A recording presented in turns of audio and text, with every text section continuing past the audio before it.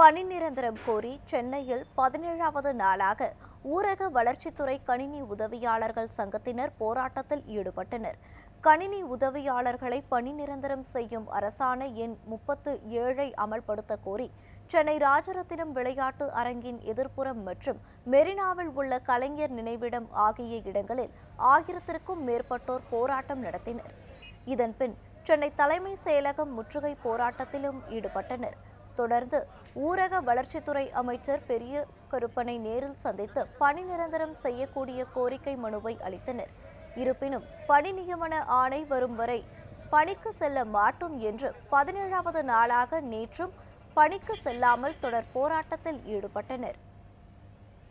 எங்களை பணி நிரந்தரம் பண்ணுறதுக்காக ஒரு அரசாணை முப்பத்தி ஏழுங்கிற அரசாணையை ரெண்டாயிரத்தி பதினேழில். கிட்டத்தட்ட ஆறு ஆண்டுகளுக்கு முன்பு அந்த அரசாணை போடப்பட்டது சார். அந்த அரசாணையை அமுல்படுத்தி எங்களை பணி நிரந்தரம் பண்ணணும் அப்படிங்கிற கோரிக்கையை வலியுறுத்தி கடந்த ஒன்றாம் தேதியிலேருந்து கிட்ட இன்னைக்கு பதினாலாவது நாளாக தொடர் விடுப்பு எடுத்து தமிழகம் முழுவதும் போராட்டம் நடத்திக்கிட்டு இருக்கோம் சார். அதோட இதுவரைக்கும் இந்த பதினாலு நாள் நாங்கள் போராட்டம் நடத்துகிறோம் எங்களுடைய துறை அமைச்சரோ துறை உயர் அதிகாரிகளோ எங்களை அழைத்து பேசி எங்களோட கோரிக்கைக்கு தீர்வு காணலை அப்படிங்கிறதுனால இன்றைக்கி வந்து இந்த சென்னையில் தலைநகரத்தில் இந்த கொட்டும் மலையில் தமிழ்நாடு முழுக்க கிட்டத்தட்ட நீங்களே பார்த்துருப்பீங்க. அறநூறு கிட்டத்தட்ட அறநூறு பேருக்கு மேற்பட்ட கன்னி உதயாளர்கள் பெரும்பாலானவர்கள் பெண்கள் தான். தமிழ்நாடு முழுக்க இருந்து இன்றைக்கி வந்து இந்த உண்ணாவிரத போராட்டத்தை நடத்திக்கிட்டு இருக்கோம் சார்.